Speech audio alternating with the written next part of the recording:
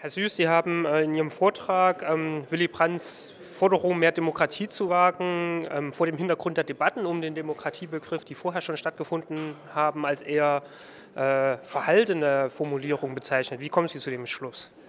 Verhalten deshalb, weil sie in gewisser Weise Debatten widerspiegelt, die schon deutlich länger innerhalb der Sozialdemokratie diskutiert werden, deutlich früher, zum Teil auch deutlich intensiver, auch von anderen wichtigen Sozialdemokraten, äh, wie beispielsweise Waldemar von Knöringen, einem Sozialdemokraten, der mal auch stellvertretender Parteivorsitzender war, aber inzwischen weitgehend in Vergessenheit geraten ist. Dieses Verhalten ist vielleicht etwas, wie soll man sagen, ähm, Verhalten insofern, als dass er im Vergleich zu den intensiven Debatten der innerhalb der Sozialdemokratie, der auch der 60er Jahre äh, gar nicht besonders radikale Forderungen, gar kein besonders radikales Programm aufgestellt hat, so wie das in der Wahrnehmung der Regierungserklärung dann in der Öffentlichkeit gewirkt hat. Deswegen Verhalten.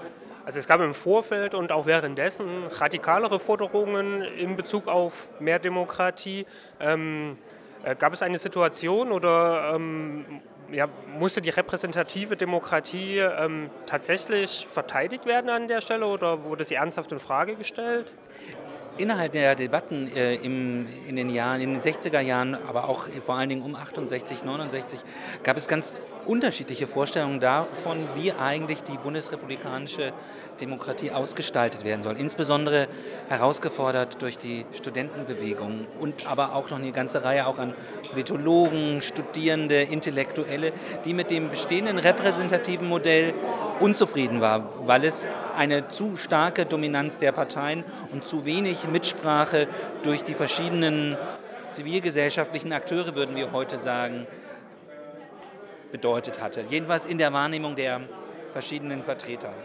Sie plädieren auch dafür, ähm, bei der Umsetzung des, der Forderung, mehr Demokratie zu wagen, auf die Kommunen und die Kommunalpolitik zu schauen. Was sehen wir da, was wir vielleicht nicht sehen, wenn wir nur auf die High Politics blicken?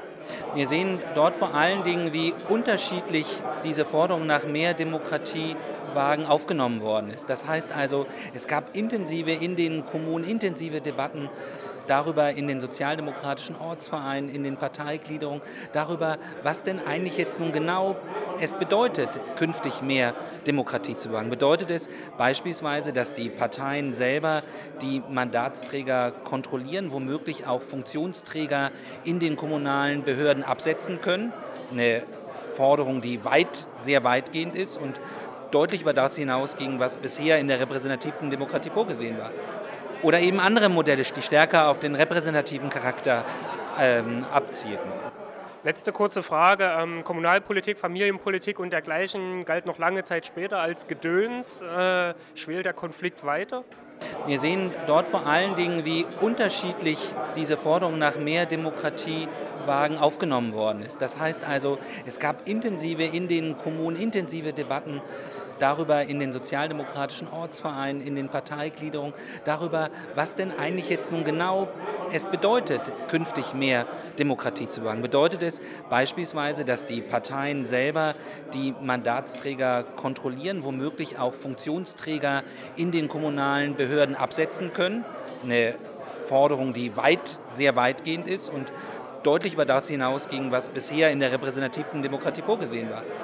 Oder eben andere Modelle, die stärker auf den repräsentativen Charakter ähm, abzielten.